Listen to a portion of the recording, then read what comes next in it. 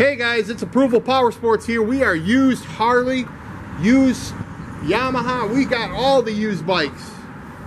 Over 600 to choose from. This one here is a 2014 V-Star 950. It's the touring edition. As you can see, it's got the saddlebags, backrest, windshields. You get the floorboards. Good looking bike, guys. All clean, ready for the road.